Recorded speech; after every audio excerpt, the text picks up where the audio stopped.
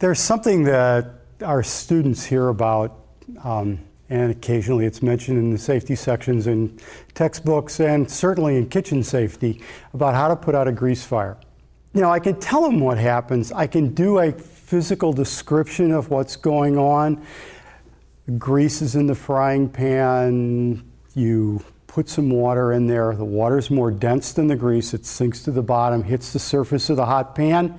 It boils immediately, and the droplets of grease are thrown up in the air, and you get this great aerosol, which, if there's an open flame around, then will catch on fire, and you get a fireball shot up in the air.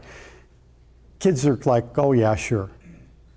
And they really don't have an appreciation for it. They don't have any real sense of what that means.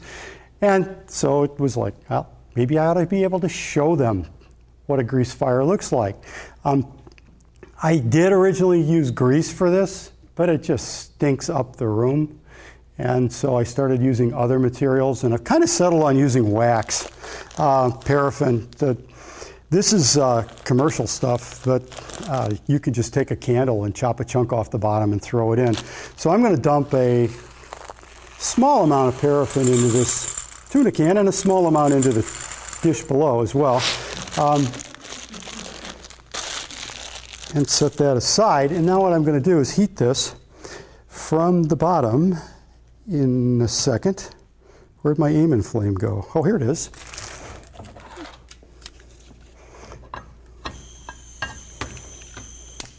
Oh, wake up, wake up. That's a nice flame right there. You can certainly do this with a Bunsen burner. This is just convenient for the system that we have here. Set this aside and we'll heat it from the bottom. What's going to happen now is slowly but surely, the wax inside the tuna can is going to start to melt. So I'll give that a little bit of time to melt. Uh, it'll take a minute or two. I'll kind of keep an eye on it as I'm doing this and we'll get it going. Already, I think you can see a little bit of smoke being generated. I'm not sure if that's tuna oil from the can or if it's uh, actually the paraffin, but one or the other, it's uh, starting to give me some vapor coming off the top. Now, if I let this go long enough and I continue to heat it, it's going to smoke some more. And I'm going to ask them to turn on the exhaust fan at this point so that we don't fill the room up with paraffin smoke. So if somebody will flip that on for me, I'd appreciate it.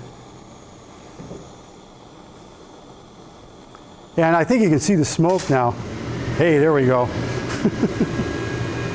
all right, right now I've got down in the bottom of the can, I have uh, all liquid, and I'm getting more and more smoke.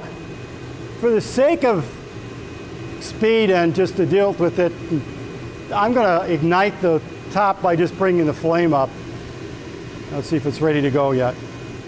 Not quite. I'm going to have, there we, there, well, not yet. Now let's heat it a little bit more from the bottom. Haven't got quite enough yet. You know what I might try doing here?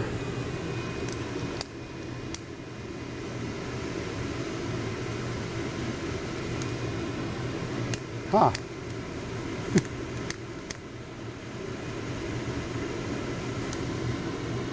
there we go.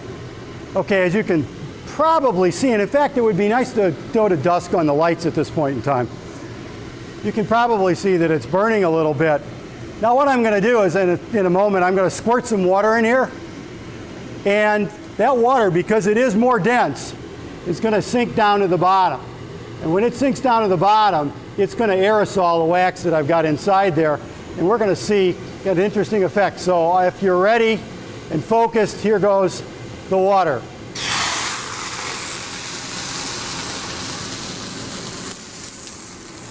So if you try to put out a grease fire with water in your kitchen,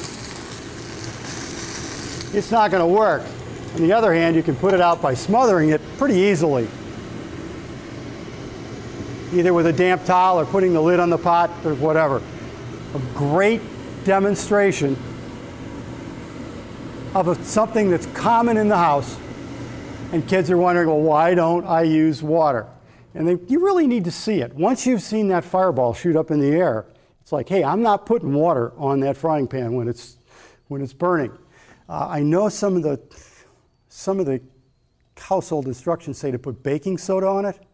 You know, I've tried that, and unless I dump a lot of baking soda on it, nothing happens.